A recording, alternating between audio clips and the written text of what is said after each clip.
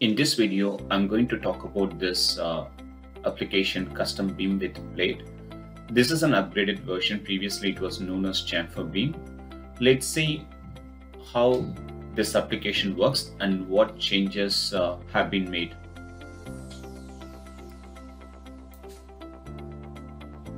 Just uh, select the component and pick the member. This creates the connection here. Yes, of course, uh, cuts the beam flange and then adds a plate. Let me just double click and open this. Now I have added this end plate here.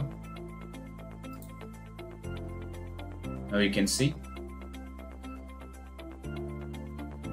you can adjust uh, the distance from the top and you can move it inside or outside.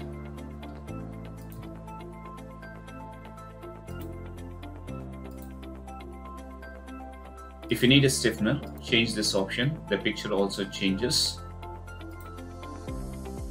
It creates the plate on both the sides. Of course, I can change this one to near side and also move the stiffener inside.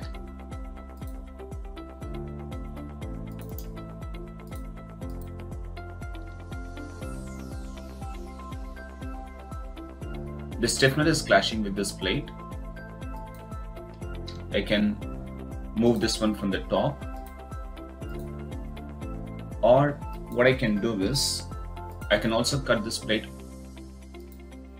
on the slope.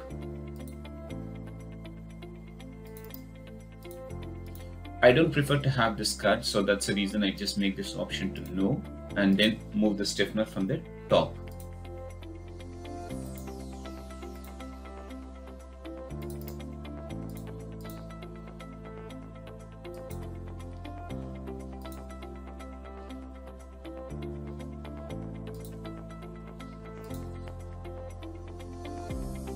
This is for adding in another stiffener.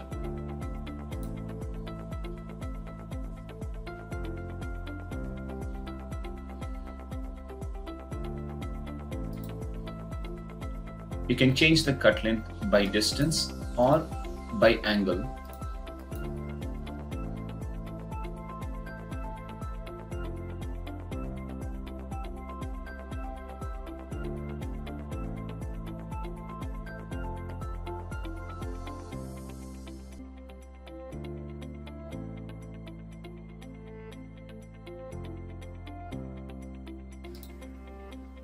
If you don't need a plate, change this option to no. So it will just uh, cut the beam. Again, I change this one back to yes. You can create this plate uh, right or left side of the beam or both sides. Now I have added a separate weld uh, for the top flange, bottom flange, and web for the stiffness.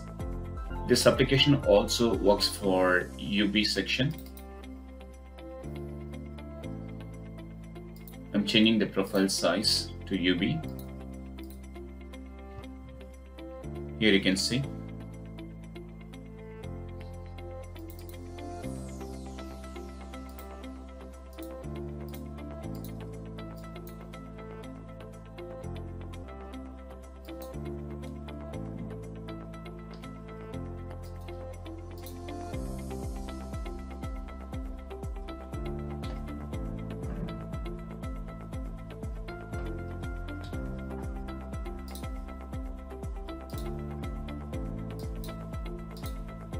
So this application has a lot of options now.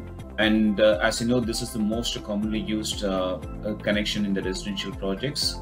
Don't miss out. Feel free to get in touch with me if you need any further information. Thank you for watching this video.